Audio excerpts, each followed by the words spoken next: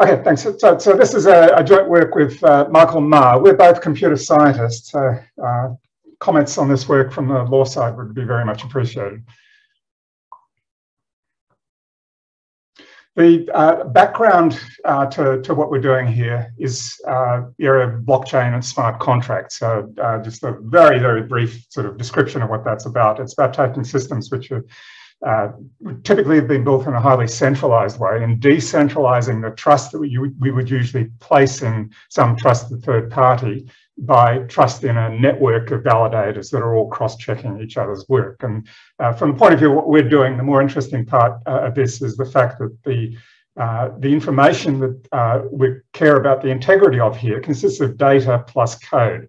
Now, that code is called smart contracts, although it's not quite like a legal contract but it's being used to, uh, in various sorts of applications that are very much like things that matter to the law. So things like currency, uh, fundraising. So we've had the phenomenon of initial coin offerings and utility tokens, decentralized autonomous organizations, which are company-like structures on the blockchain, and more recently, non-fungible tokens. Now, a lot of this activity has been happening in the uh, in a bit of a sort of wild west sort of scenario, and regulators have stepped in and said, no, no, no, you can't do these things just on the blockchain. You've got to do them in a legally compliant way. So what's becoming more interesting these days is to have uh, regulated and legally compliant crypto tokens uh, which typically involves backing those tokens by some form of legal contracts. We're starting to see the emergence so of the uh, area of smart legal contracts, which combine a smart contract with a legal contract.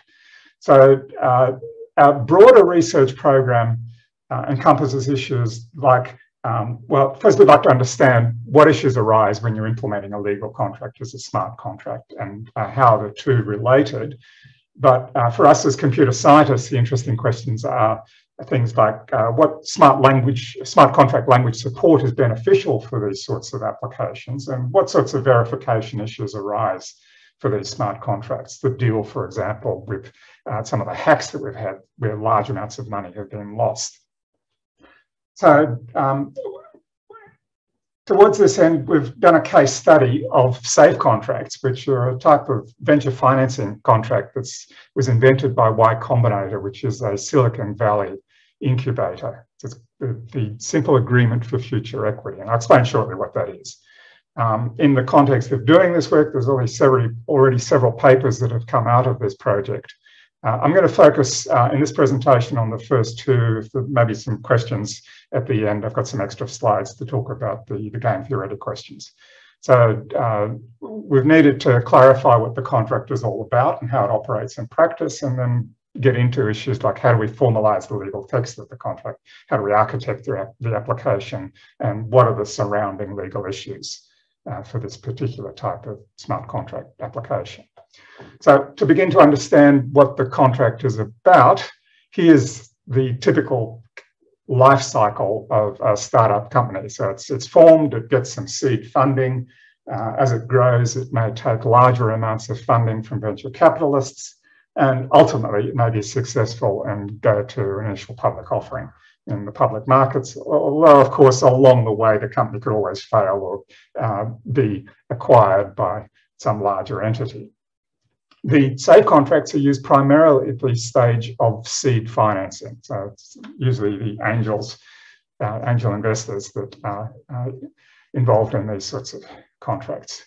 And they've been designed to solve a particular problem, which is how do you value a very early stage startup in order to determine how many shares the investor is going to get for their investment in the company at that very early stage. And the safe contract solves this problem by saying, okay, well, let's kick that, let's kick the can down the road uh, and uh, issue a contract that doesn't require evaluation at this very early stage but uh, at some later time in the life cycle of the project, when the company goes to a venture capitalist, and they do a carefully constructed priced equity round with a pre-money valuation uh, determined by negotiation with the venture capitalist. At that point, the safe contract will convert into a shareholding in the context of that priced equity round. Okay, so uh, that that also saves the safe investor all the complexity of the uh, the legal costs and negotiation costs around uh, uh, negotiating a, a, an investment for shares. So the safe contract uh, has clauses that deal with a number of different types of events that correspond to the life cycle of the company. So there can be an equity financing and this uh, description of what happens in that case. But there could also be what's called a liquidity event, which is a change of control like a buyout or an initial public offering. Or the company could just be terminated and that's a dissolution event. There's some clauses in the contract that describe that. Okay, so now in setting out to do smart contracts for these type of contracts, there's, there's various sorts of challenges. So let's have a look through those. First of all, um, there's multiple variants of these safe contracts. Y Combinator, in its initial release of these contracts, already gave four versions with some parameters called the, the cap and the discount, and different combinations of whether you have those already give you four different contracts. Um, and then, uh, moreover, uh, more recently in 2018, uh, Y Combinator has, has, modified its safe contracts to work on not the pre-money valuation of the equity round, but a post-money valuation uh, of the equity round. Uh, so, so that already makes eight different types of contracts, but other uh, incubators, other investors have uh, gone off and made lots of other modifications. So that's that's a bit of complexity to, to be dealt with. Um, to give you a feel for how the contract looks, there's some text from the contract, from the contract around the equity financing clause. Uh, and uh, rather than try to, uh, to read all this text, let me give you a sort of capsule description of, uh, of a sort of simplified version uh, of this text uh, in terms of some, some, some equations. So essentially what the equity financing clause says ignoring some complexities, is that if the pre-money valuation of a company is less than or equal to cap, which is one of the parameters of the contract, then the number of shares issued to the safe investor is going to be equal to the money that the safe investor invested divided by the price of the shares that are being paid by the venture capitalist. Okay, now the effect of this clause is essentially to give the uh, safe investor downside protection. If the company hasn't done all that well, then the uh, the essence of this clause is to, is to say that the safe investor is going to get uh, a, a, number of shares that corresponds to in value to the money that they invested. However, if the company has done very well, then the uh, safe investor gets some upside uh, and uh, if the pre-money valuation is greater than the cap, then the number of safe shares is equal to the money that the safe investor invested divided by the, uh, a safe price, which is uh, giving the, that investor a discount on the price that the venture capitalist is paying. Okay, so it's calculated using this formula. Okay, well that law looks simple enough. But if you start to think about uh, what is this really doing uh, in terms of uh, is it sensible to invest such a contract and do some financial analysis of it as we needed to do in order to really understand these contracts? And you look at the way that these contracts actually work in practice then you start to see that there's reasons for some complexities. So uh, in a usual equity round the share price is calculated just as the pre-money valuation divided by the number of pre-money shares uh, and you get the, the uh, number of shares after the equity round is the number of shares before the equity round, plus the number of new shares that are issued to the venture capitalist. When there's safes uh, in the mix that have been issued by the company, then the number of post-money shares uh, includes not just the previous amount, but also the new shares that are issued in conversion of the safe contracts. And the effect of that is to immediately dilute the new investor so that they're getting shares of value that are less than the amount of money that they've just used to buy those shares.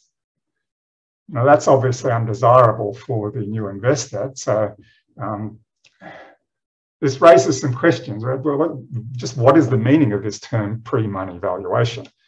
And if you start to think about that from an accounting point of view, there's two ways to do the accounting in relation to these safe contracts you can view the safe contracts as being a liability of the company. Okay, in this case, the pre-money valuation is equal to the uh, usual assets minus the usual liabilities minus the value of the safe contracts. Or you can view the safe contracts as being represented on the cap table of the company. In this case, the pre-money valuation is just the assets minus the liabilities as usual. Okay, now Y Combinator actually says that safes are not liabilities for reasons relating to US tax law, but uh, it turns out that when you do the calculations that the um, the equity round equations actually make a lot more sense for the venture capitalist investor uh, in the case of the, uh, the, the, liability view. So uh, a rational response by this, uh, by the new investor, by the venture capitalist to this dilution is to uh, decrease the pre-money valuation that they give to the company so as to ensure that their post-money share value is equal to the new money. So effectively that amounts to saying that, well, we're going to use a different pre-money valuation. That's our original pre-money valuation minus the value of the safe instruments. Okay, and in response to that, the safe investor may say, well, look, but that's not the deal that I signed for this safe contract. So you can't use that pre-money valuation that's being used by the venture capitalist for, to, to execute my contract. And so they have a dispute here between the new investor and the safe investor, and there's a compromise that's sometimes used in practice called the dollars invested method, where uh, we use a pre-money valuation that's the, uh, the usual pre-money valuation minus the amount of money that's uh, invested by the safe investor. Uh, and um, that's still a dilution, but it's a sort of compromise, not as bad for the venture capitalist as the, uh, as the other approach. So now, principle, this is a contract and the parties can negotiate as to how they're going to deal with disputes about that contract and just settle that way. Uh, so that raises a question for, well, what do we do to implement this in a smart contract? And our decision has been to say, okay, well, there are these complexities and we're going to leave those out of the smart contract uh, and uh, leave those to be handled using off-chain processes.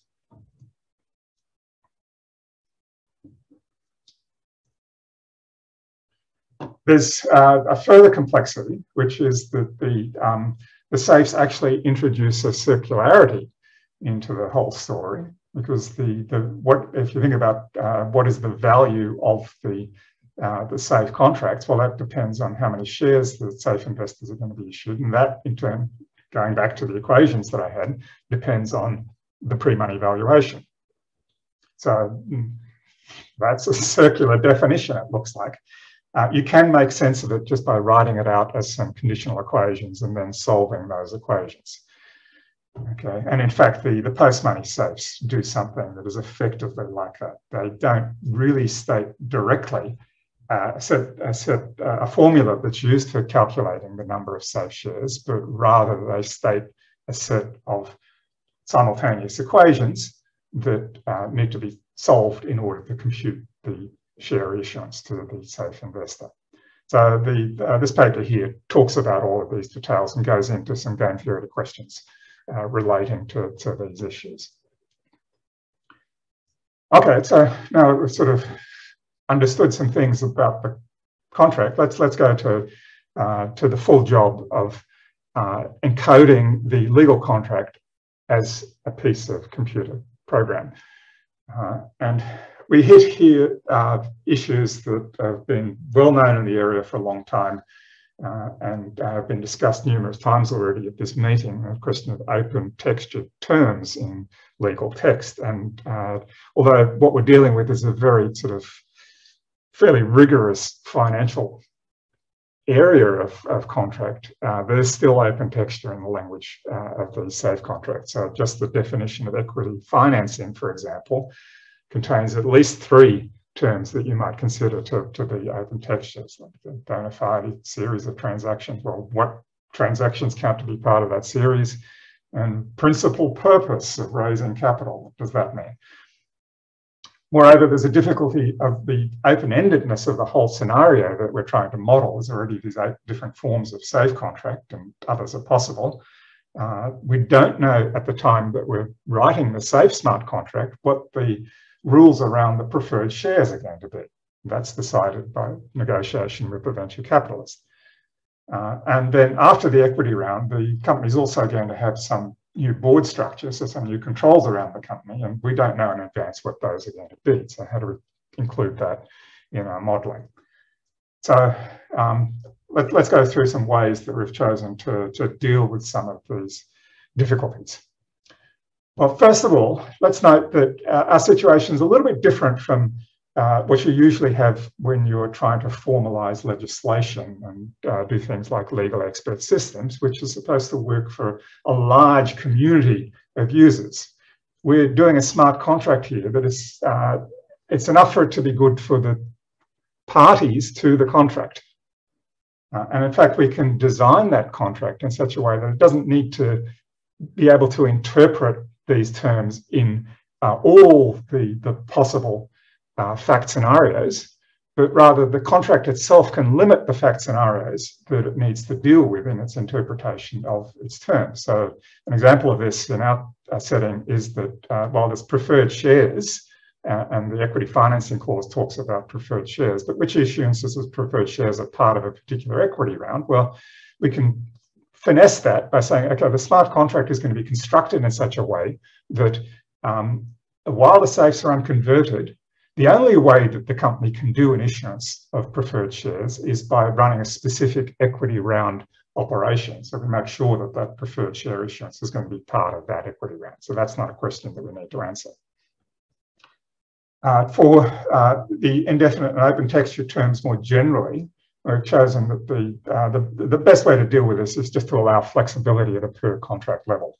So the parties can either agree to use a particular formalization of the term, or they can agree to a formalization of the process that's going to be used to decide whether the term applies at the time that the question actually arises during the running of the contract. Okay, so this can either be a sort of proposal by the company for, uh, and, an approval by the investor, or we can rely upon some trusted third party to do things like uh, give a valuation of the company for use in the pre-money valuation calculations. Uh, there's the issue of incompleteness and the fact that the post-money safes are just states and constraints. Uh, so uh, to deal with this, what we've done is to say rather than calculate a, uh, the number of shares that are going to be issued to the safe investor when the contract converts, uh, and, and, do that as part of the smart contract. Instead, what we'll do is that the company is going to uh, send a transaction to the smart contract that proposes the structure of an equity round. And then the smart contract is going to verify that that proposal satisfies the set of constraints that are being stated in the contract itself. So we can handle here the constraint-based nature of the post-money safe, uh, as well as the, uh, the calculation within the, the, the pre-money safe. Okay, that has also the benefit that the, uh, the blockchains uh, are limited in the amount of computation you can do inside of a smart contract. Uh, so very high complexity computations uh, you don't want to do and constraint solving might be undecidable. So we've pushed all of that complexity off-chain in the way that we decided to, to implement the thing. So here's some diagrams giving the uh, structure of the implementation of the smart contract. So we've done the implementation on Ethereum in the Solidity smart contract programming language, which is an object-oriented programming language. So the, the boxes here correspond to various objects that uh, occur within our design. So we've got uh, a type of object that is representing the company, and in particular, the cap table of the company is represented here. Uh, but then um, we've used a sort of proxy controller pattern uh, where uh, if there's uh, if the company wants to do any operation on its cap table, then it needs to do so via the safe controller, which is a, a type of smart contract that knows about uh, the safe contracts that have been issued, and these are represented using another type of smart contract. And what the safe controller does is it takes a request of uh, an action to be performed on the company, and it sends it over to all the safe contracts and asks, is that action permitted according to the terms of the contract? And the contract will then respond, so the safe contracts will then respond yes or no. If all the responses are yes, then the action will actually then be applied on the company. So here we're uh, enforcing that the, the safe contracts are going to be complied with. Uh, and this allows us to, to write the code for the safe contracts in a relatively declarative way.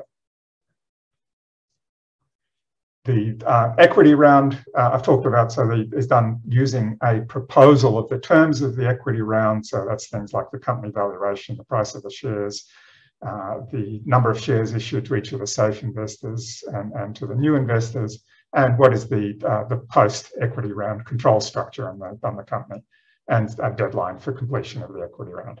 So, so if that's approved by all the safe contracts, then uh, the safe controller will actually create uh, an atomic swap contract. This is used for making sure that um, uh, when the investors pay in their money, they actually are guaranteed to get shares uh, for, for, for, for the uh, the money that they're putting in according to the terms uh, of the, uh, the equity round.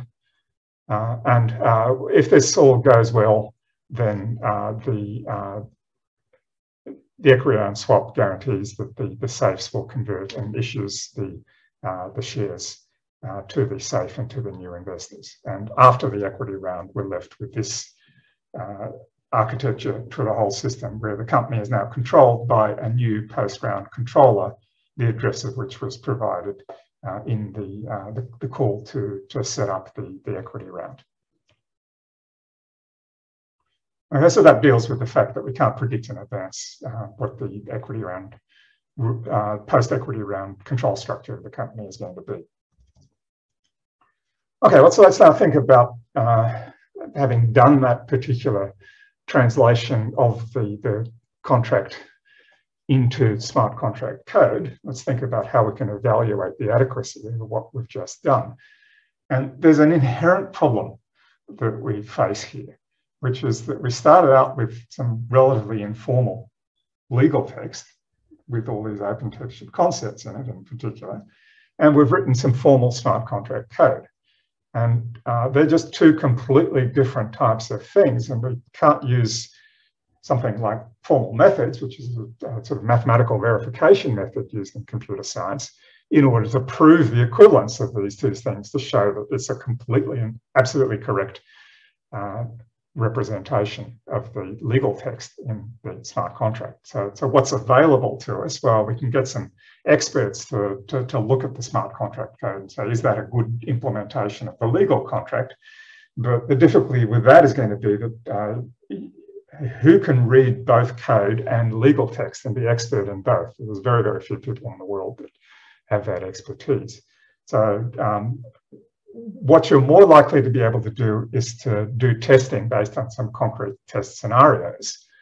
Uh, and uh, you might ask, well, where do those test scenarios come from? And case law might be something that comes to mind here. So we went looking for some case law around safe contracts. And the problem is that they're very rarely litigated. Uh, and uh, most of the cases that we found, in fact, hinge on matters that are not relevant to actual interpretation of terms in the contract, that are more around issues like was there a, a contract issued at all uh, in these cases, which we're dealing with legal contracts, not with uh, smart contracts, of course. Um, so uh, we're essentially down to, to having to rely upon uh, test scenarios that are provided by some expert. So we think that's feasible uh, or uh, we can field the smart contract and then get error reports after deployment. Although uh, you need to take into account here that any error report you get about your smart contract might actually be a question uh, of legal dispute rather than uh, an error in the actual contract.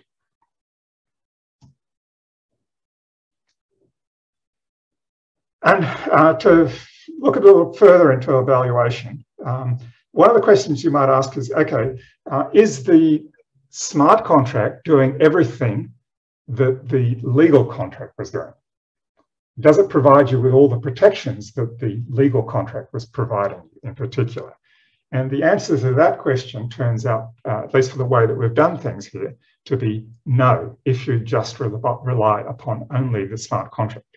There's an attack, uh, this, this works even against uh, a legal safe contract uh, in which essentially the, the company and the, the venture capitalists collude against the interests of the safe investors. And uh, what they do in that collusion is to structure the venture capitalist money across two equity rounds at different prices rather than do the investment in a single equity round.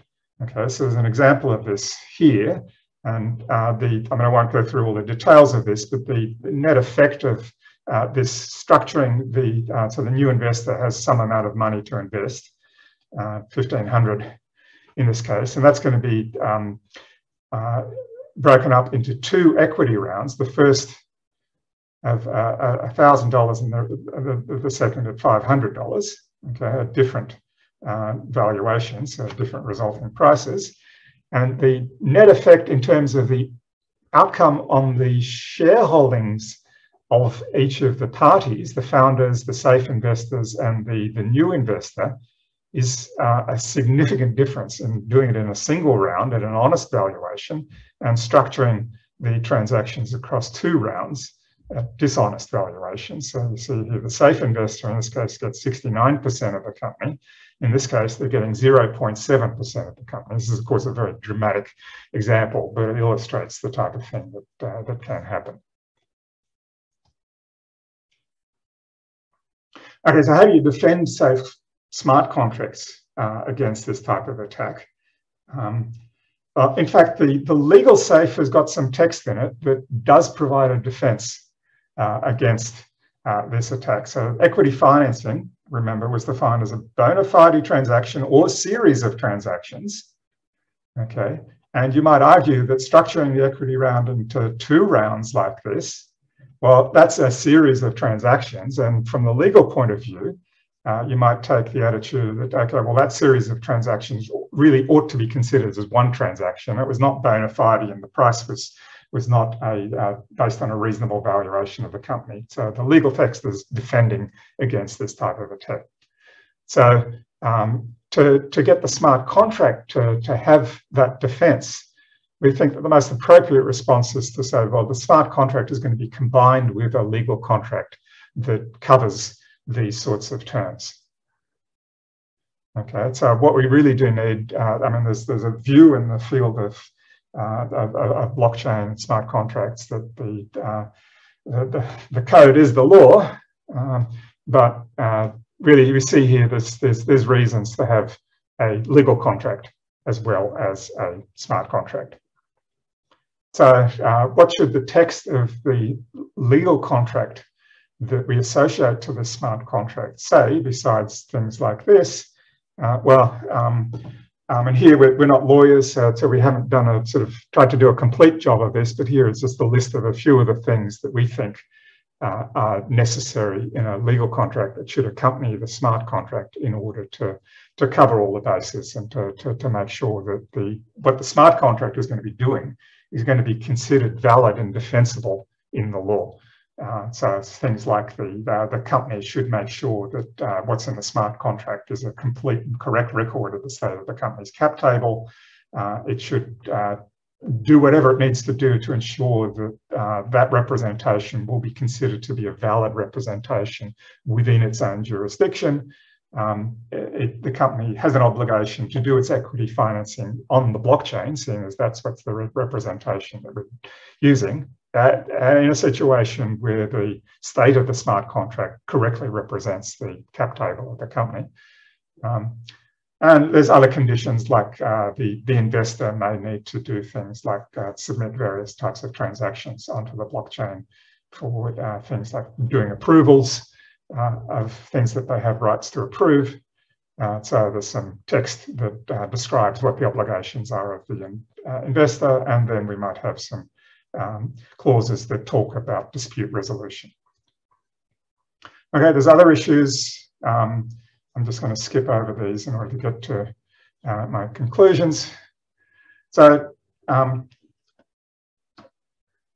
in conclusion, then, uh, I mean, this was a fairly intensive exercise. It's already produced three papers, uh, and I think there's more yet to be done. Uh, and what we would say is that the work of developing a smart contract can actually force a focus on uh, the following sorts of questions. What's the interpretation of the terms in the contract. Um, are there any gaps in the contract? Can we fill those gaps? Uh, where there's indefiniteness uh, or open textured concepts, do they serve a legal purpose? Okay. Uh, and um, well, I mean, this is, relates more to, to the game theoretic work that we've done. Uh, we'd like to be able to reason about the behavior of the contract under all event sequences and make sure that uh, uh there's no uh, game theoretic situations that arise that have inherent conflicts. Now, all of this type of analysis uh, is, is hard work. Uh, but we think it can actually, doing this work can actually drive making improvements in the contract itself. And uh, although you might not want to do that for just bespoke contracts, uh, it's quite valuable and worthwhile to do in the case of industry standard contracts, uh, where it really makes sense to have an industry standard that's been very deeply analyzed. Uh, and so, so we think it's worthwhile doing this for, uh, for other things. And we're quite interested to hear uh, what other types of contracts you, I think, fit within this category of, of industry standards. Okay, so I'll, I'll wrap up there and take questions.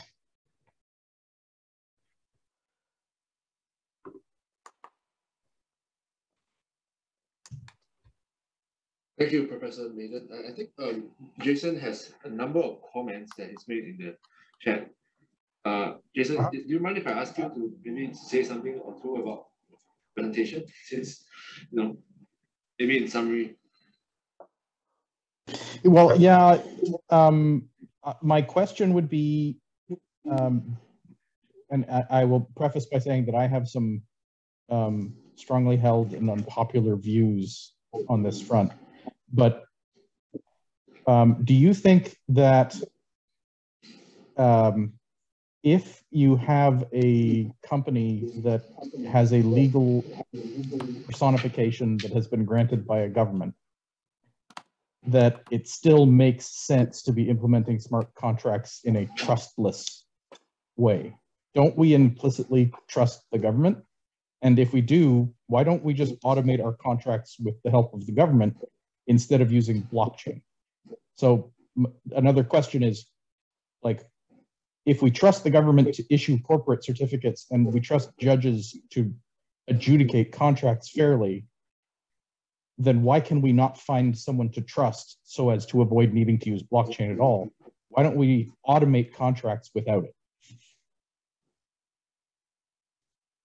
Um, well, I mean, uh, so, uh, I mean, I think there is. Uh, I mean, as, as, we see for um, a, a, lot of the uh, activity in the journal space, there, there's a, there certainly is an appetite uh, by people to have these digitally represented assets. Um, uh, and to, to be able to do things like sort of uh, 24 7 trading. Um, uh, um, in, in, the ter- in, in case of, uh, I mean, these safe contracts are used by startups. Uh, and uh, the way that a startup typically represents its cap table might be on scraps of paper or just an Excel spreadsheet.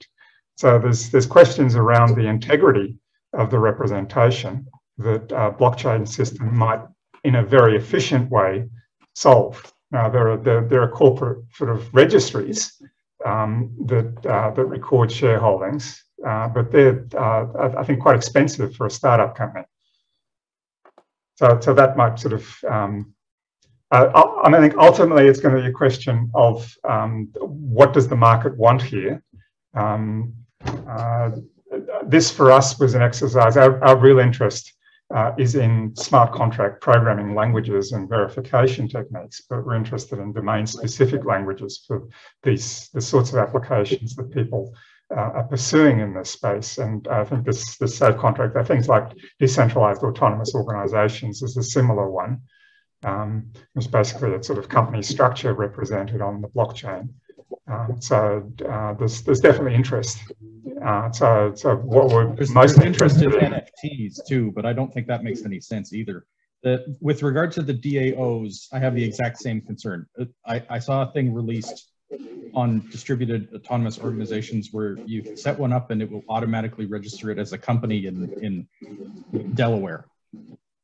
Mm -hmm. Which to me just I, I, I cannot fathom why people think that a, a distributed trustless method of computing is going to be useful if you are relying on a trusted governmental authority to underlie the usefulness of the structure at all. It, it just seems completely nonsensical to me.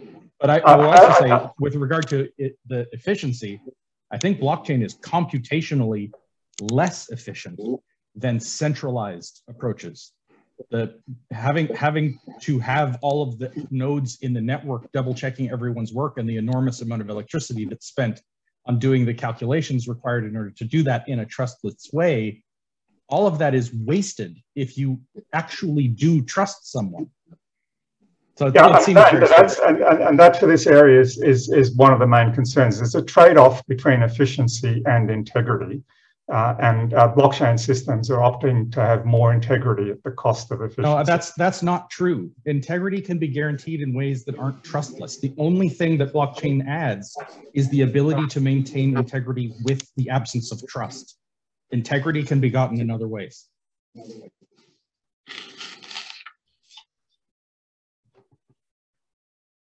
Okay, I mean, I think maybe this is a, a, a question we have a lot of debate around. Um, should I be handling somebody else's questions? Um, yeah, there's a question from Andrea Stazi, who yep. is our next speaker. Uh, if I would just read this up. Um, hi Ron, thanks for the great presentation. I'm glad to see that you taking into account the various complex challenges they pose, linked in such an effective way the controversial issues of smart contracts with practical users that show how they can become, in fact, very useful legal contracts. Um, Andrew, do you do you want to kind of this basically a comment or is there a question here?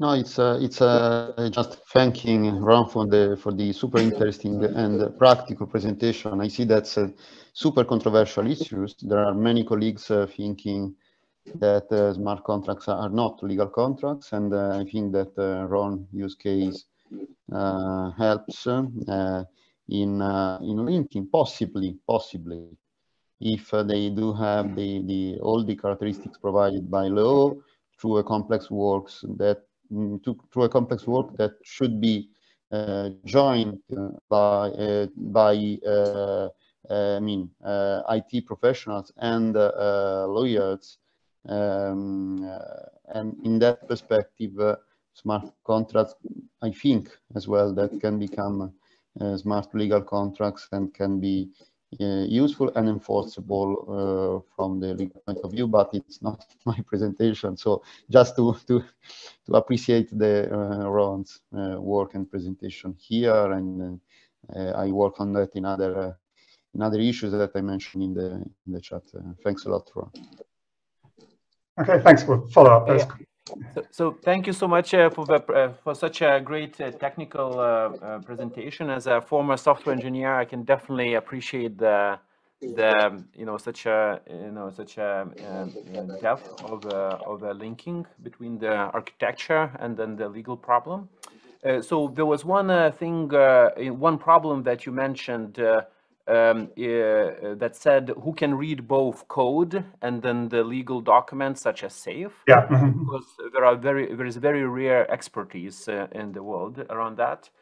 Uh, so maybe a solution could be um, uh, centered around the um, I would say re uh, uh, realities of how investors perceive SAFE. So SAFE originated in, from what I understand, in a Silicon Valley from Y Combinator, where the flow of deals, um, you know, companies being successful or failing is very fast. So the velocity is very fast. Um, however, in Europe, uh, quite sophisticated investors, um, you know, angel investors, we don't understand safes. Just I can tell from my own experience trying to sell some. Um, uh, and uh, essentially what they what they you know they you know they exactly are afraid of uh, exactly same prob you know uh, problems that you identified which is dilution. And i think it's not fair to them because they are taking mm -hmm. much more risk than the vcs that will come later. And uh, essentially in reality what they are asking once you know the prudent uh, you know buffett style value investors they want some collateral. They want to put in some money but they want some collateral and essentially what, uh, you know, when, when you have a startup, so startup either can have traction with users, so either users, or it can, can have IP. So my suggestion, maybe potential suggestion to solving that problem of you know, uh, having a lawyer that can read code or a software person can that read code is to introduce another piece, a different, change the architecture of a solution, which would be instead of uh, um, kind of, uh, you know, introducing a new product, such as, for example, IP, uh, some IP item, let's say patent or trademark or something like that, or website or something like that. So they, you know, so what we saw from those angel investors is that they, um, uh, looking for some collateral. And the idea there is that you, if we can link the smart contract inputs, for example, money is paid, etc., etc., to IP that could be linked to, let's say, NFT, mm -hmm. uh, that the investor could uh, could uh, could could own in his digital wallet. That means that we can simulate that, you know, multiple. We can actually run the model multiple times, see how it performs under different, you know, kind of companies. And that could be palatable also, um, you know, for real world investors. So that's just a comment. Uh-huh. Okay, thanks. I mean, it's interesting comments there. Yeah, I mean, it's. Uh, I mean, we're still we're still sort of thinking through sort of where do we take this piece of work? Was it just sort of exercise as input into our, our, our sort of programming language interests, or uh, do we sort of uh, try to make something of this? Is there a direction here, perhaps, of sort of uh, creating a sort of product which is sort of well analyzed and, and structured way of spinning up a safe smart contract with legal protections around it? So that's uh, we're still thinking and, through that. issues. Think and then in just in terms of a kind of company accounting, kind of a, either balance sheet, uh, you, so you mentioned either the balance sheet or whether it's uh, let's say a liability, uh, you know, liability, where, where it goes into the you know the cap table or the or, or, or in the kind of liabilities. Um, there is maybe potentially yet another architecture for, for this. So right now, you know, the, the whole craze in the in the in the blockchain is about pegging the some sort of a crypto currency or something like that to a real asset such as a dollar, dollar or some other, you know, uh, etc. So uh, have you considered the other architecture that would allow um, alternative architecture that would allow to for a company basically issue shares, keep them on a balance sheet, and then peg them to some sort of uh, instrument that could be traded openly, and then uh, at the end of a month or every quarter or something like that, then they would see how many um, you know pegged instruments were traded, and then they would transfer that into the, the share register. Okay. Uh, no, no, I certainly haven't considered those sorts of complexities. So just one last response. Yes. Sorry, yeah, yeah, Ron. Quick response, and we have to don't keep Andrew waiting. Ron? Yeah, yeah. I mean, so the response is, I mean, that's that's that's very interesting. We haven't uh, gone in that direction as yet. No.